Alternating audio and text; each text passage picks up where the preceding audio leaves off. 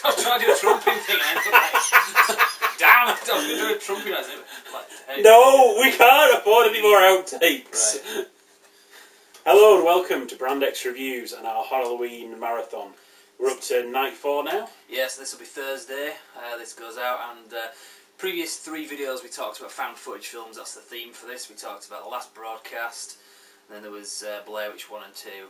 This one we're going to talk about mostly the Paranormal Activity franchise, but also a few other films because. I don't know if you'd agree with this. Uh, there was like found footage was kind of big for a while, like around Blair Witch. Yeah, they did a lot of films after the Blair Witch thinking they could get away with the same format, like shaking the camera around a lot, no money, no um, effects, and somehow make a fortune, even if it was like really poorly done. And it very quickly got a hugely bad reputation with people as, oh, that found found footage films are just awful.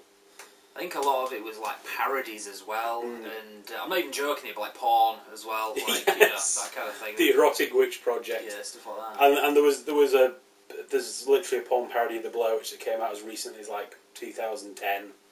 Yes, it's still kind of ongoing, but Mm. it kind of died. Like I say, would you kind of agree with that? Like for a few years, at least five years, it kind of died. There wasn't really anything big anywhere. Yeah.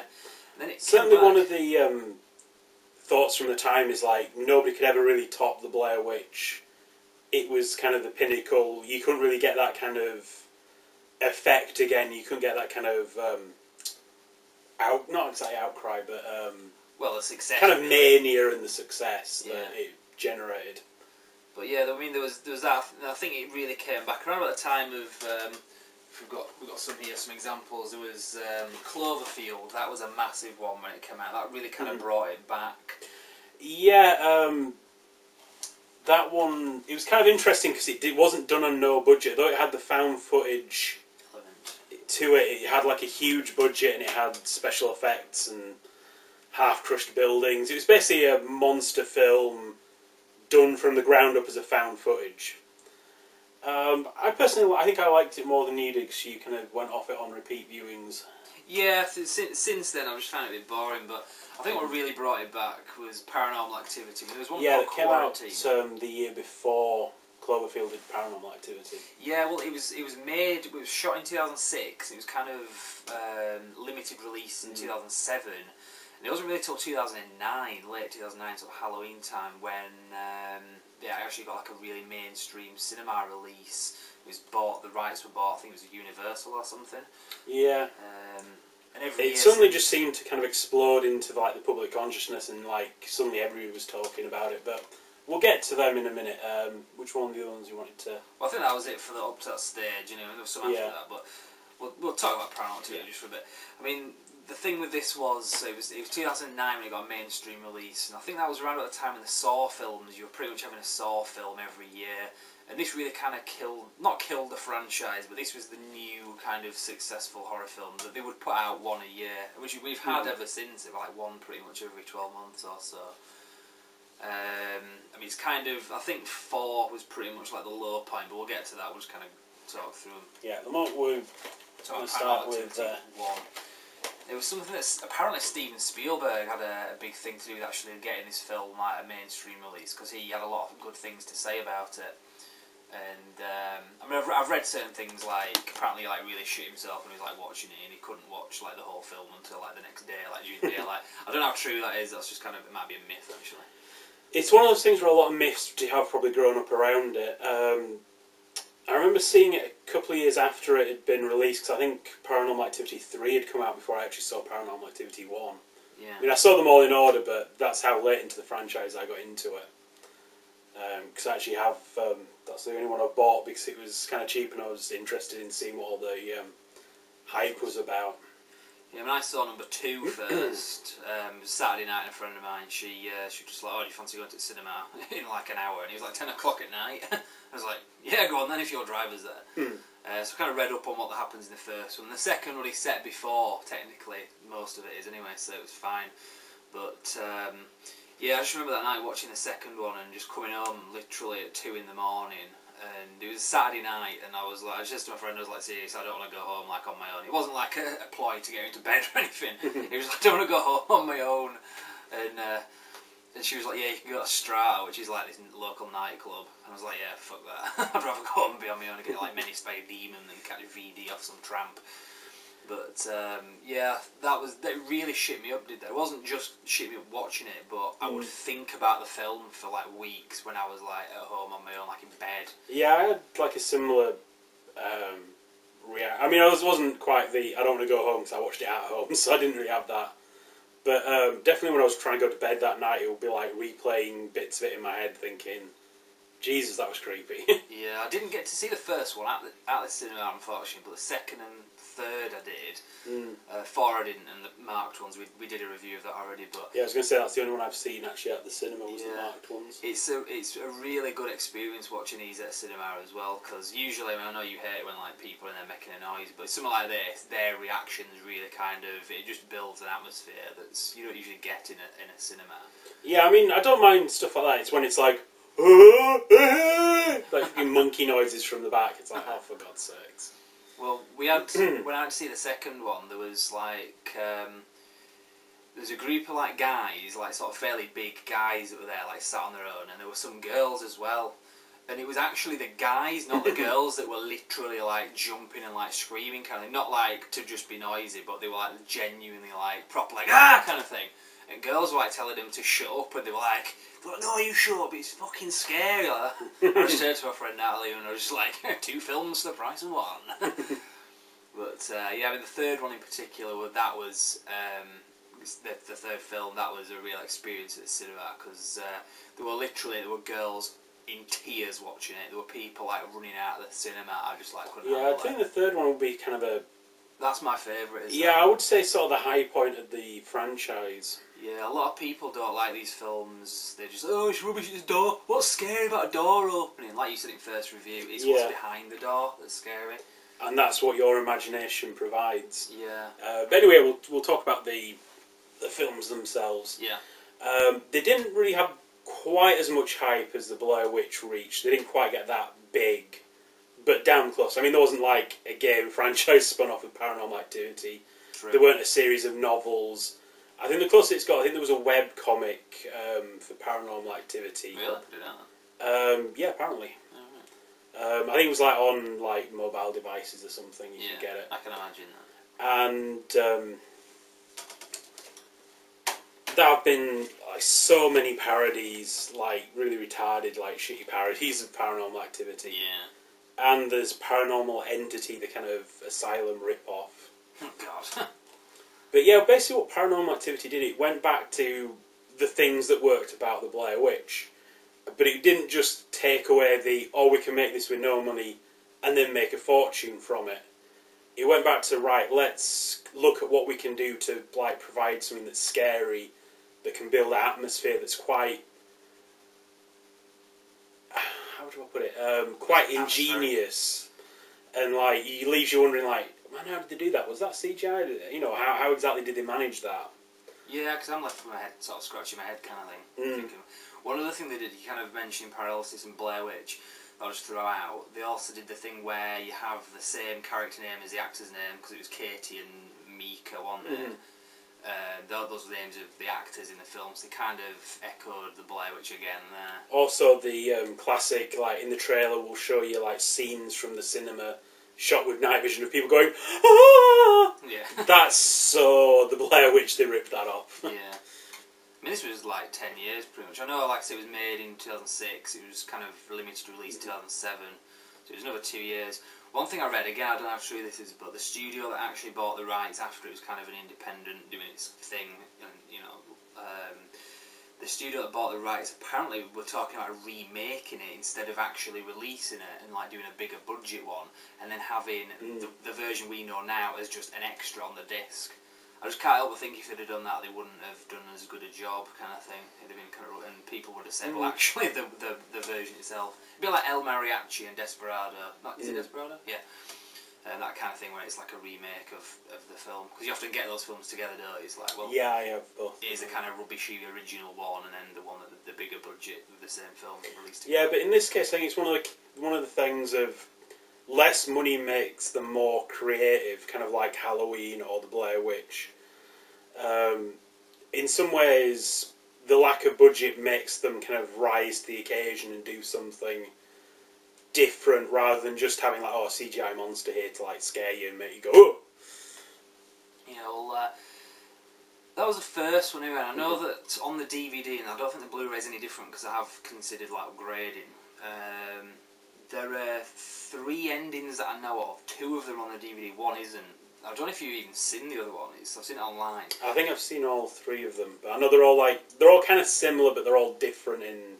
Yeah, because there's one where the, just the one in the cinema where a guy gets thrown at the camera. What's the other one? I can't remember what the other one is. There's one. Um, I think there's one where you see her commit suicide, and there's one where the cops Yeah. come in and kill her. That's it. Yeah, there's one where she cuts her throat. That's on the DVD as well. But yeah, there's the other one where the cops come in and shoot her. That's not on the DVD as far as I know, unless it's hidden. Um, again, I think it was Spielberg that had something to do with recommending which ending to to go with. I don't know. Like again, how true that is. Which ending he actually recommended, but apparently he was had some input in that. But definitely keeping her alive is the ending officially that moves on into the other films. Um, Ka- Katie was it? Yeah, Katie. survives? Yeah. So the second one, we've got uh, it's a story about her sister. Mhm. Um, I'm gonna kind of assume. Yeah, her now. sister was mentioned in the first one, and you see her at one point because she hear that this stuff has happened before to the family. So it's kind of backstory to the first one, and then they actually like went into it in a lot of detail in the second one. And this film does up the ante. Um, on the first one, you see a little bit more. Um, a little bit more happens in it. Yeah. This is an extended cut on DVD as well, which was the same on Blu-ray. So again, there was no real advantage getting the Blu-ray from what I get anyway. Um, again, this was the first one I saw in the cinema, and yeah, really, even watching it on repeated viewings, the effect of it really is kind of, you know, Well, this is the first one I saw with 'cause, um, the original one I saw your with the Topher. reactions were like brilliant, like jumping. Yeah, well, I'm, I'm always like that. That's kind of. I watched this with a girl once. I remember she was like, kind of like lying, lying across me because she was like scared, kind of thing. And she was like, she said, I can like feel your heart like beating, like when it's like proper like scary. Like, yeah, it's kind of embarrassing.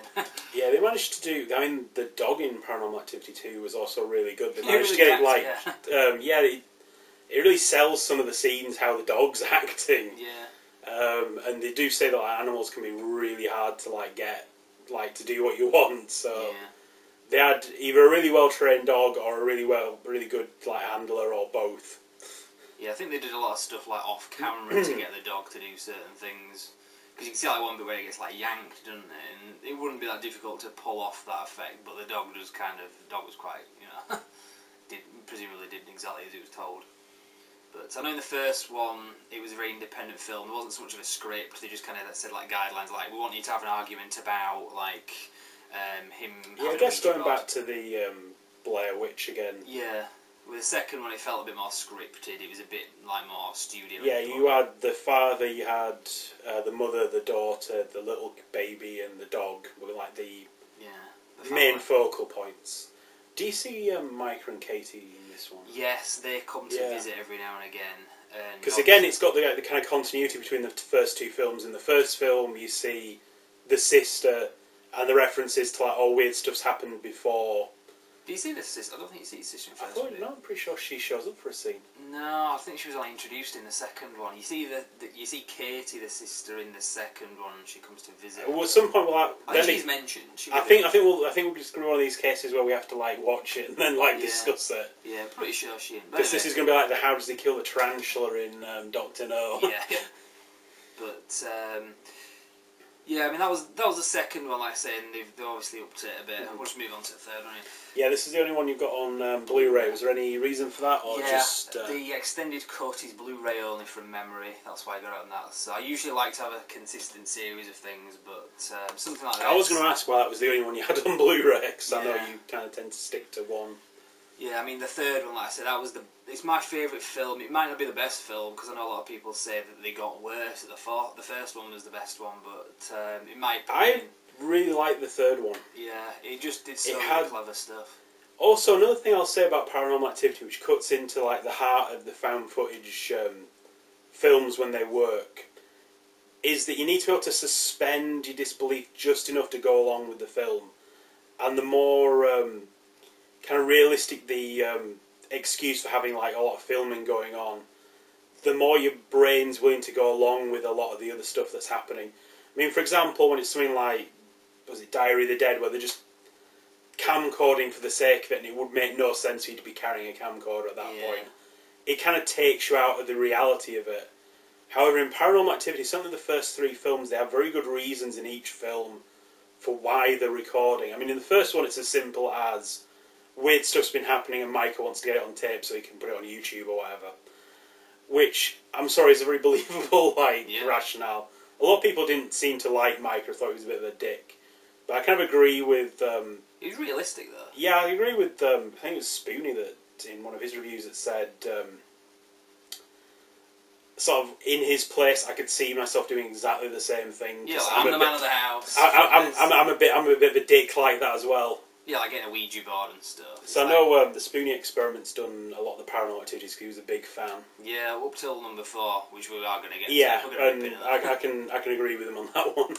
Yeah, because um, I think with the third one as well, a lot of people just didn't like it because um, they said that it got too like big budget, all that kind of stuff. Because it did have CGI in it, like the bit where the girl's hair gets yanked up. Yeah, but I thought those effects worked. I really loved it. well. Yeah, it I mean, like I said, creepy the as first one was, oh, we're just going to record it for the sake of it. The second one was somebody broke into the house, so we're going to have like closed circuit TV in case they do it again. In the third one, it's a guy uh, recording on VHS. He's like, it's basically set in the 80s, or Yeah, it's, an easy. it's pretty much Yeah. the same reason as the as the the first one, isn't it? It's filming because of paranormal stuff. Yeah, although the rationale for it is he's a wedding photographer, so he's got all these like um, camcorders just lying around, which you wouldn't have usually had back in like the early eighties. You wouldn't really have had all that, but He did. He was did because it's his job. You know, it makes sense. And some of the stuff they do, like they have one camera set up and they show how they basically made this panning camera. It was a fan, wasn't it? It was Yeah. like uh, just an electric fan, and he kind of adjusted it to mount a camera, and he does that, and they really like use that to its full. Yeah, because one of the most um, like successful scenes is uh, the two girls. Because it's basically about when um, Katie and her sister are like little girls, and like this is how it kind of starts in a way. And um, they want to play like dress up with these sheets, like pretending to be a ghost. And you basically see the babysitter kind of sat at a table, and you see a small figure like walk up behind her with a sheet over it. Well, it just appears, doesn't it? It didn't even. Well, well, you, well you do, it's implied walked or it appears. yeah. Kind of because it's panning, you don't really know. Um, and it just like standing behind her, thinking like, is that one of the girls? Is that the ghost? What's going to happen? Like, is she going to turn around? It's quite tense. And then just as she's about to turn around, the cap, the sheet just falls flat to the ground and there's nothing under it. And you're like, how the fuck did they manage that? You mean how did they film it? Yeah, I've thought that. I- I'm assuming it was CGI, Hmm. but I'm actually thinking it might have been practical, like you know, some like wires or something. it could have been a balloon, like a, a long balloon with a, a sheet over it. and You've got somehow just like just a stick a pin in it and just like edit out the sound in the in the mm-hmm. dub. And there- there's I mean effect. that or like fishing wire or something like supporting the top of it. You'd have like a little thing in it that make it like a head, Yeah. and then when you just like release the wires, it just falls down. But like I say, it looks really good, and it is like a whoa scene. That was scary. That and it wasn't a, a like a jumpy thing. I mean, it, it did have a, a kind of a thing to it, but it wasn't like a bang kind of. I mean, usually when Paranormal Activity has a jump scare, at least up to this point, it's usually when they're kind of joking around, like the second film where they've got the pool cleaner. It's like, guys, guys, guys, come, come look at this, come look at this. Look what's happening on. Like going, Dad, what the hell is it? And then he's got the pool cleaner just jumps straight out of the pool at them and like, son of a, how dare you? What Well, the hell are you playing each, at? In each film, they'll have the prank, which is usually Hmm. somebody playing a prank, like, or there's like there's like a scream. They go upstairs, and it's like somebody's shit out of the bog, kind of, or there's a spider, or somebody's Hmm. hiding in a cupboard and they come out. Yeah, it's pretty well done in the first three 'cause it doesn't feel too cheesy. Yeah, the fourth film was just really bad. Was it even made by the same people? We'll get on to the fourth Yeah. in a second. um, The other thing in the third one that I loved again, which was using the oscillating Mm-hmm. camera, uh, was the bit where the woman go, the mother goes in, turns to the door, and she comes back. Everything in the kitchen's gone, and then it just drops from like. Yeah. that was like the best. I mean, we could, we could go on for ages talking about all our favourite bits because there are so many good bits where it's just like, that's quite creepy and this is why. And again, it's because it's in somebody's home. This could happen, this happened in their home, it could happen in your home. And they can't get away from it. It's even like um, brought up like why don't they just move out? It's like if they moved out, it's just going to follow them. It's hooked onto them, not the plates. It's a bit like Poltergeist, the film kind of thing. Yeah. Also, the third one had um, quite a lot of nostalgic said stuff like they have a Teddy Ruxpin at one point, and they had like yeah, the light a bright, Lite-Brite, which I used to have a, a Lite-Brite as well. Um, a few little things like that, which was um, the, like nice little touches for people who would notice that kind of thing. There was that symbol first appeared as well. Thinking that one, it's like the triangle Yeah. with uh, the is it shown somewhere else? I Yeah, I was going to say is that he's holding it up in that, isn't he? Well, a friend of mine that I went to see the, the, the second and third one with uh, played a prank on me as well because uh, that symbol would like appear and that, and then I would watch the film like we'd come home and I'd gone to bed. In the morning, I came downstairs and she'd like drawn this fucking thing and put it through my letterbox, bitch. but um, yeah, there was there was stuff like that. So the third was a really good experience in the cinema. I just love it. I mean, I know a lot of people if they didn't have the same vibe with it, they're not gonna like it. But I thought the third one was really was the, like the high point. I mean, usually when it's got CGI or a jump scare, it's earned it because it's pretty late on in the film and it's built up a lot of atmosphere and goodwill. So by the time that comes along, you're willing to go ahead with the jump scare, and you know, it's not just been a film of like one jump scare after another after another, which is just literally waiting every five seconds for somebody to go ah ah, you know, at you, which is really annoying in some films. Like, it's just nothing but that. It was good. The third one was good because it was dealing with something they hadn't really done before, and that was creepy little girls, which they hadn't really done in this franchise before. And each one kind of did something different. Um, do you want to move on to the fourth one? Because uh, Yeah, let, let's let's talk about the fourth one. God, do we have to? Um, did we see this for the first No. time, or did you see Yeah, this before? I didn't see this in the cinema, and I was like pissed off at the time. It was just I, I can't remember what happened. I think there were a lot of films out at the time, but um, yeah, we went. I, I got it. I think somebody downloaded it and brought it around, and um, terrible film. Seriously. That's your punishment for watching a downloaded movie. Yeah, well, I did buy it. To be fair, I mean, I, I uh, when it came out, I did get it, and um, Proof. Yeah, Although this is- does look a bit fake. You know, maybe this is a It joking, it could- joking. This is real. No, no, it is pirated. It looks like it's been filmed on a camera. I can't No! remember what it is. But yeah, really terrible. film. YouTube is so taking down this video. yeah, but it's just um, it's just full of jump scares, and they're not earned, and that's all it's got going. For And it. also, the first three films, like we've mentioned, have like an internal continuity of like we'll mention something, and then the next one we'll go into that in more detail. And we find out that yes, they were haunted as little girls because this is what happened in the third one. It makes sense. It's links together. The second one, although it's set before the first one, it also continues the plot on beyond the second one because the very final scenes of Paranormal Activity 2 are actually set after the original Paranormal Activity because you see Katie again, which is why it's definitely from that ending. Katie didn't get shot by the police, Katie didn't commit suicide, Katie's still out there and possessed. A major failing of Paranormal Activity 4 for me is they took a step back. makes no sense. Yeah, the, the plot just broke. At the end of the second one, Katie had gotten hold of the baby from the family in Paranormal Activity 2. She had the kid. I mean, I don't really class that as a spoiler because you're not really watching it for the plot as much as you're watching it for the scares, and you know, it's it's not something that would spoil it going in. I don't think. But yeah, she's got the baby. In Paranormal Activity 4, she's trying to get the kid. It's like, uh, you got her, that you got him at the end of Paranormal Activity 2. What, did you immediately give him up for adoption? What, what the hell? And now you're getting him back? Like, what? Like, what the hell happened here? Dozy fucking demon possessed people that just can't seem to. Well, like I, said, I d- I don't know what it is. I don't know if it's a case of a rewrite, like originally this isn't actually the baby she wanted in the second one because there was a mix-up at the hospital, and even though she gets to the end of the second one, it's not the baby God she knows. wanted. doesn't make so sense. she goes out again, or was she just not wanting to raise it because she was a demon possessed like monster? So she gave him to another family to raise it, but then why is she so desperate to suddenly get it back? It doesn't make any sense. I, I think there were a lot of directions we were going to go because especially the trailer for number three had. I think the majority of what you see in the trailer for Paranormal Activity three wasn't actually in the film. Yeah, they have variations of it. So there's like the um, game of Bloody Mary where you say Bloody Mary three times in the mirror and she appears, and they do that really creepily in the film. But the bits you'll see of that from the trailer aren't actually in the film. Yeah, it's like an alternative. Yeah, because there's the two little girls like playing like Bloody Mary, and uh, one of them jump scares the other one like bah, and she's like ah, and like runs out screaming, and she laughs and like follows her out, and then you see there was something else in there with them, and you're like, oh shit, that isn't actually in the film. That's just for the trailer. Yeah, they replaced it with a scene where it's the babysitter and the older sister, is it Katie? And then, Mhm. but in the extended scene, in the extended cut, there is another scene which is similar to them, the two sisters doing it, and the door slams, which Mm. isn't as effective, but it's still alright. But also, in the first two films, there was, there was always the talking about the time when the house burned down when they were kids, Mm. and I thought that they were going to go back to that, and it did show in the trailer a house on fire. So I thought, oh great, you'll get to see the whole thing about the house burning down. There's none of that in the third film, which was Yeah, you just kind of assume that they the cult went and burned the house at some point um, after the third film. Yeah. Well, there, there actually, because you see that in the the, the Mm. fifth one.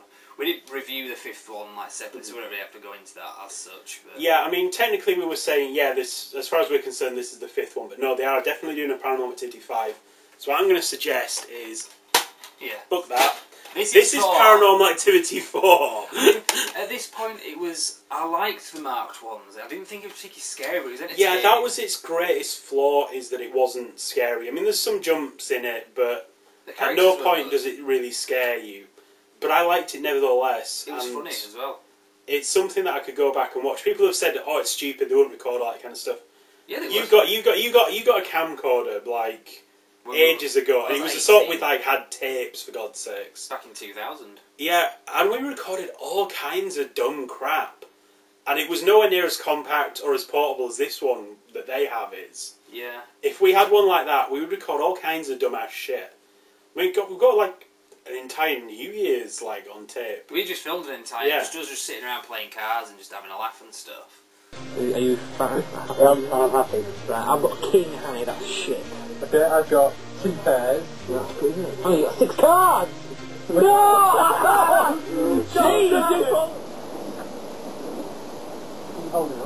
Yeah, wow! that worked!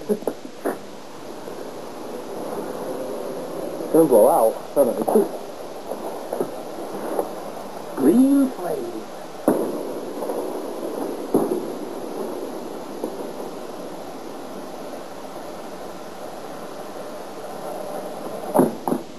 I'm suitably impressed with that one. hey! Sounds interesting! like for pos- for posterity. So that these people with like a fancy, um, like small, like hands-free video camera wouldn't be filming everything. Bullshit, they would. Are we still filming by the way? Is it Yeah, flashing? still flashing. Don't worry, we're still filming, just like they would be. So yeah, I mean that's one good thing. Like I say, there's the like Chris Carter always said when he was doing the X Files. It's only as scary as it's believable. And I know this isn't the X Files, but it's similar principle is stuck to. If you can keep it believable, at least bits of it, like why are they filming all this? well, I say I've, I've heard it described like a magic trick, and it is kind of true. You need to keep things at least grounded enough in reality and like common sense that you're not immediately taken out from it. 'Cause if you're already taken out by like the, well, why the hell are they filming this? Where the hell is this camera? What the hell is going on? Then by the time you get to the weird supernatural stuff that can't happen, you're already kind of pissed off with it and not like paying attention because you're already like, oh god, this is stupid. Like, why the hell are they still recording? What?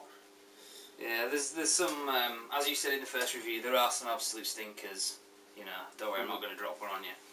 But um, this new wave of found footage films, Paranormal Activity franchise, really did kind of like we saw with Blair Witch. A lot of really bad ones have come out. There's one called the Dinosaur Project. I was going to say, are you going to mention that one? terrible. It's like um, Jurassic Park kind of thing mixed with paranormal. I can uh, paranormal activity. I can see the kind of the thoughts Mhm. behind it, but it was bad. It was really bad. And we've got a few others as well. Yeah, I was going to say because that was like mixing um, CGI with a found footage effect, but it was like really badly done. One that did it a lot better, I think, is Grave Encounters. Um, There's a sequel to that as well. Wait, Yeah. Where's this? I I was told oh, it's, it's still up on the shelf, don't worry. Oh, Uh, but this is like a, um, ironically enough, for our next review, because we're going to do a similar story to this. Um, it's about a bunch of um, like ghost hunters who like may have their own show on like Cable. some some some channel somewhere. Going to this haunted asylum and they're taking um, basically filming a show and shit kicks off while they're there, like genuine supernatural stuff. Um, some of the effects, especially in the first film, were seriously creepy. The girl in the corner where she just like turns around and her face just goes like "Ah," like that, and it's That that is Ugh. something that I saw when I went to bed at night. Kind of like Jesus. Hey, hey, Who are you? How can you, how come you're in here?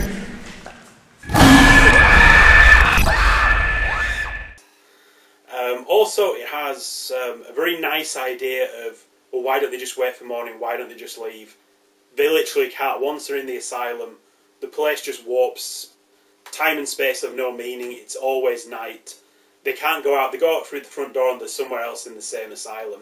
They literally cannot escape. It's a lot of nightmare concepts in Mm. that as well, isn't it? Like I say, I, I was not as much of a fan of the second one because it spent way too much time following around the um, like stars of the second one, who were just basically goofing off for like way too long. Yeah. It's are like you could have just established that the kind of high school kids who goof around a little bit, ten minutes tops. I don't still need to be watching this like 30, 40 minutes later. Get to the bloody movie. Yeah, because I think it kind of suffered a bit in that the first one was very independent um, film. I think the trailer really sold it on. on the, I think it says it on the front of the thing about the trailer having a lot of views. The second Yeah, one, twenty-two million trailer views. Because you? There's some actors in the second one that you recognise. Uh, yeah. Also, the main actor, um, like the main like the documentary filmmaker who's doing the second one, is a fairly major character from the TV show Continuum. So immediately that took me right out of it because it's like I know you. yeah, you, you're not. You're not. You're not. You're not a documentary filmmaker. You are an actor. I know you. Yeah. Uh, it's a little bit. other things as um, well. well, briefly, well, we've already talked about. Um, the other one we were going to mention was um, Apollo 18 for moving away from ghosts and into a more sci-fi um, kind of approach with Apollo 18, which was set on the moon, and the uh, Apollo mission that they've never admitted to. Um, I really liked this. Yeah, Uh, a lot of people have slagged it off, but I thought it was quite good. Well, they did a marketing campaign Mm. similar to Blair Witch with a website and also just stuff about. Um, was it moontruth.com kind of Mm. thing? So. Um, Although again, this did actually have an actor I recognised. One of the main guys, one of the main astronauts, was in the TV show Alphas. It's like try and get like people we don't recognise. Uh, yeah, I know we've already um, talked about Cloverfield. and We're not going to go back over. We've already covered that as well as we're going to. Um, but we're going on about viral marketing. This also had um, quite a bit of viral marketing. It was one of those like trailers that had everybody talking about it. Um, but also it had like fake websites for both the drink Slusho, which is kind of advertised quite a few times, and the firm that the guy's going to work for. Um, it even had like phone numbers you could ring, um, and even had references to um, both the firm and the drink in um, some of J.J. Abrams' other works, like Alias, had um, the Slusho Cola drink. And bizarrely enough, in um, Star Trek, 2009. yeah, uh, not not the original Star Trek. That'd be really um, bizarre.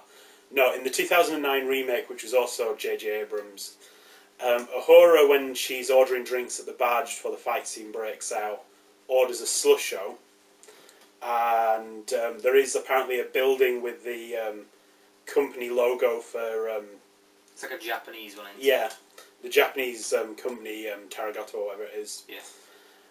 Um, it's like seen in some of the TV spots for it.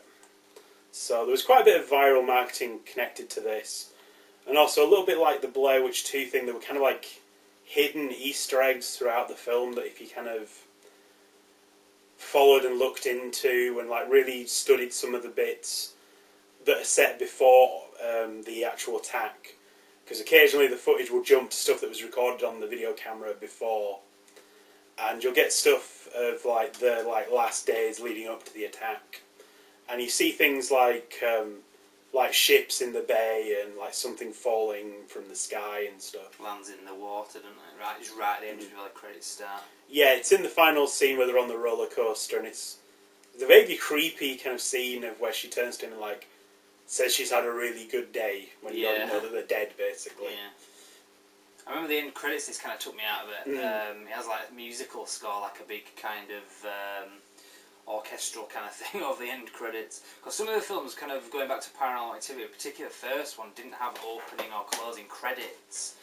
That's Mm. something that the, the you get very rarely these, but Cloverfield did. Um, Like I said, Cloverfield, yes, it was a found footage film, but it was a very different beast. yeah, It was like an interesting premise of let's do a monster film like Godzilla or something, but let's do it from literally from the ground floor rather than having like the army being a big part of it and scientists. It's just people trying to survive this monster attack. It's not really about the monster so much as it about the struggle trying to survive the monster. The monster might as well be a natural disaster, really. There's some like there's a lot of actors in this I recognise. Mm-hmm. Some of them were just like bit part actors, um, but also there was. Um, well, I actually remember watching a trailer for this as well, where there was a, the whole thing where there was a teaser where you see the Statue of Liberty's head getting knocked off. I can't remember if it was you that I said this to because I remember like saying like. Uh, Oh, as if you could like knock the head of the Statue of Liberty like that far out, you know, it's like way over there. And you're Hmm. like, pretty sure if you could knock the head off in the first place, who's to say you couldn't knock it that Yeah. kind of thing. Um, there was a lot of speculation going in as to exactly what it would be. Some people saying, "Oh, it's like a, s- it's secretly going to be a Godzilla film," which is like, it never Yeah. was going to be. Is there a single frame in this, like near the end or something, where it, it cuts? Is it King Kong? Or, I think it's King Kong actually. Yeah, not Godzilla. Um, that this, that's in the frame where it suddenly gives you that um, belly notice. Yeah, another um, theory, which is kind of a shame it wasn't true, was that it was going to be um, based loosely on the works of H.P. Lovecraft, and ultimately the creature smashing New York was going to be uh, the outer god Cthulhu, which would have been a really interesting take because it would have opened up magic as well as monsters. And um, it's literally a monster where if you've read the works of H.P. Lovecraft, if you even see this giant monster, you're doomed because you'll just go insane. Um, you can't even look at this thing without like just completely breaking your mind. It's that horrific and out of the worldly. Um, but yeah, it's a good film for what it is, and like I say again, we have the viral marketing. Uh, but I think this um, should come to the end here. Yeah, we could talk forever about like some of the good and the bad ones. Mostly the bad ones because that tends to be what this genre. Yeah, like I say, that's not really what we're covering in this um, retrospective. We're covering some stuff that, we like. yeah, it's it's had some effect on us that we've either enjoyed or we think is interesting. So hopefully you do as well. You're not thoroughly sick and fed up of us after four days. Yeah. I would call myself a fan Mm-hmm. of the uh, found footage genre. I mean, I know there are, like, like we said, some absolute stinkers, and some of them are just crap. So I was trying to. Uh, Yeah, just be careful. if you've seen the smeg ups in the, the first video that we did this week. Um, we Yeah, our final um, review is going to tie into this in a lot way because it's going to be another mockumentary about ghosts, and it will be coming tomorrow. And it's something you may shit not. us up as kids. Yeah, it's something you may not be aware of um, if you weren't alive in the time. But if you were watching TV in um, 1992, it would have freaked you out. It's so scary. I don't even want to be in the shop while we're talking about it. We are, of course, talking about Ghostwatch. Ghost Watch, 1992. I was. We were. This like- was before um, any of that stuff. No Blair Witch. This wasn't taking off that. BBC did it first. They broke us as kids. kids had to go to like therapy seriously for Yeah. post trauma stress. A lot of the other things we talk about, it's stuff we've heard, we've found out about in the um, since then, like the alien encounters thing. This we actually saw live on TV. It was people we trusted like Sarah Greene, Michael Parkinson, Yeah, Craig Mike- Charles out of Red Dwarf. That's Bastard. Smeghead. Yeah, what a bastard. but we'll talk more about it tomorrow anyway. Yeah, we're going to have quite a bit to say about this because this is something that we both love as kids. And we've kind of been building up to it this week, so. Yeah, this is the reason we did this respect retrospective. Originally, we were just going to like, hey, let's do a review of that for. Um, Halloween. and then it was like, well, when are we going to do uh, Blair Witch? Why do we do both? Let's do Well, a if we're going to do three reviews, we might as well. Uh, We'll do, do five and push it out. So yeah, it aired on Hey. Halloween, uh, August, not August, October 31st, 1992. So tw- 22 years ago today. yeah, it's this. to the point I can actually think back on that and I can remember, like, specifically where what was going on and so forth. It's almost like you know exactly what you're doing when the Kennedy assassination happened Yes. or when the Twin Towers fell. I remember quite literally I know I that doing. night. Shitting myself. Exactly. Sweating buckets. So we're going to say this is something that hasn't been repeated or shown again. It was very controversial at the Mm-hmm. time, but we'll talk about this all tomorrow anyway because I can I can feel we, you can feel we really want to talk about Yes. this. So yeah, right. Okay. So uh, tomorrow check back. Yep, tomorrow. Halloween, we will be back. brandxreviews.com. So uh, thank you very much for watching.